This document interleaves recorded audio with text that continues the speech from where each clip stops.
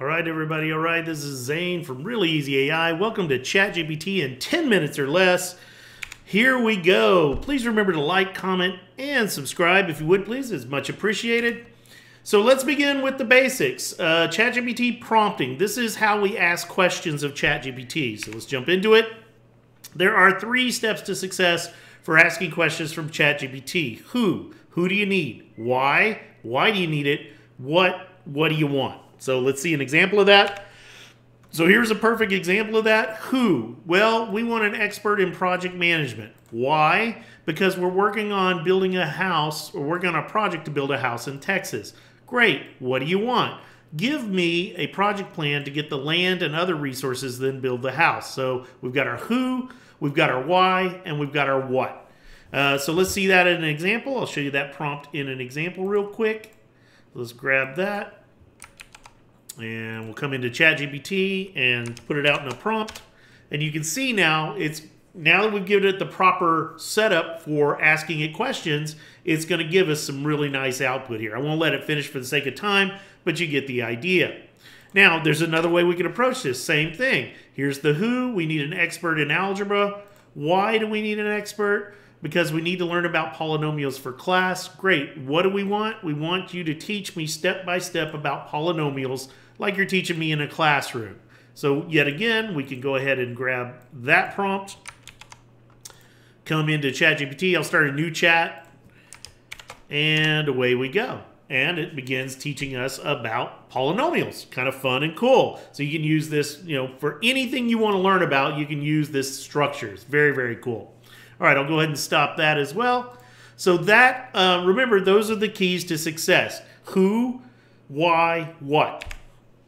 All right, so one of the biggest reasons we use ChatGPT is for summarizing documents. It's huge. And so I want to show you, uh, well, let's talk about that for a second. Uh, so let ChatGPT do the reading for you and be clear about what you want from ChatGPT, and it will summarize all day long and give you some great results. Here's an example I've got a business plan for an Oklahoma business. And I say to ChatGPT, you're an expert in Oklahoma law and business plans. We do the, the who, we do the, now we jump right into the what because the why is actually given in the context of the document we're giving it. So you can jump right to the what. What? Give me a three sentence summary of this business plan with five bullet points on the major items in it. Then tell me if the business plan looks solid. So there we go. Let's do it. So we're going to start a new chat. Now, there's a couple way to upload files to ChatGPT. You can click on this little paperclip looking thing here or you can simply click and drag your file like I'm going to do into the ChatGPT surface. It will upload. You see the little white circle there. When it's done, you'll see a little piece of paper, and then you can just give it your prompt. So I'm going to go ahead and give it our prompt, and away we go. So let me go ahead and put that in there, and boom. So it's going to read the business plan pretty fast, and then automatically start giving us an output, a summary of the business plan, with the five points that we wanted it to give us. And it gives us an assessment as well. Looks well constructed. Very, very cool. So, yes, use it to summarize your documents. It's extremely powerful for that. Now let's get into results formatting. This is where things get interesting because when you get into the what, a lot of times you really want to play around with the what, right? So you don't have to settle for the format that ChatGPT chooses. You can manipulate the output in any way you want. Ask. All you got to do is ask for the format you want. So, for example, here um, we say we're an expert in project management. We're working on a project to build a house in Texas. Give me a project plan to get the land and other uh, resources and build a house. Give me the plan with best guess projected dates and milestones beginning from today. See, when it first gave us the plan, it gave us like one, two, three, four, five. I want best guess projected dates, milestones, and all that good stuff. So now we're asking it to do extra stuff for us, which is fine because now we're guiding it to the a little better to the what type output. So we'll go ahead and paste that. And you can see now it begins giving us a project plan in phases with durations now. Three months with the milestones, phase two, duration, milestones.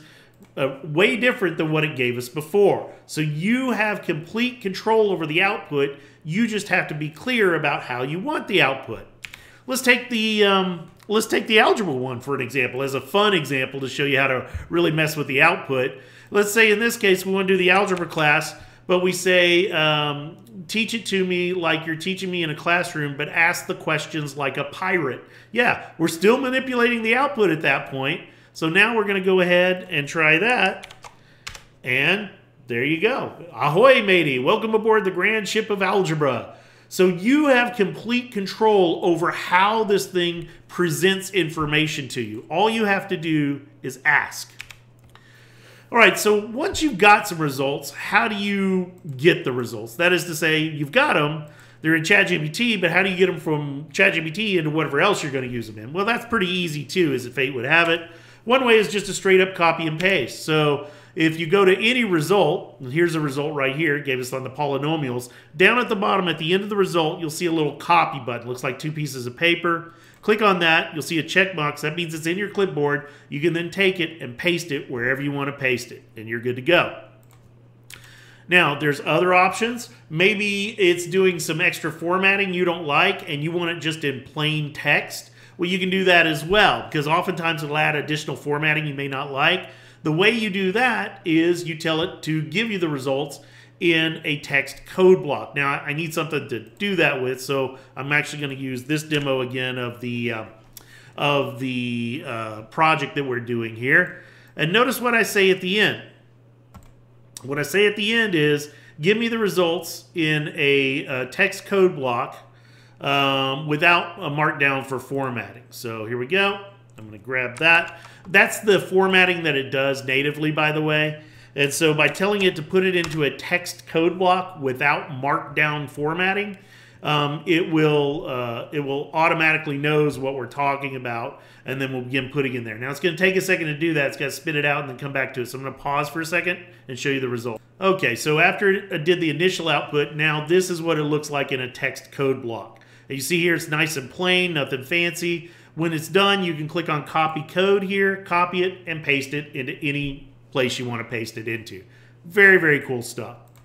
All right, um, now, another thing you can do is you can have it download the results into a document, um, or actually put the results into a document that you can download. Yeah, you can absolutely do that. Let me show you how that works. So basically what we're going to do is we're going to do the same project house prompt, but this time we're going to say put the results into a well-formatted Word document. That's it. That's the only change we're making. We're saying put the results into a well-formatted Word document.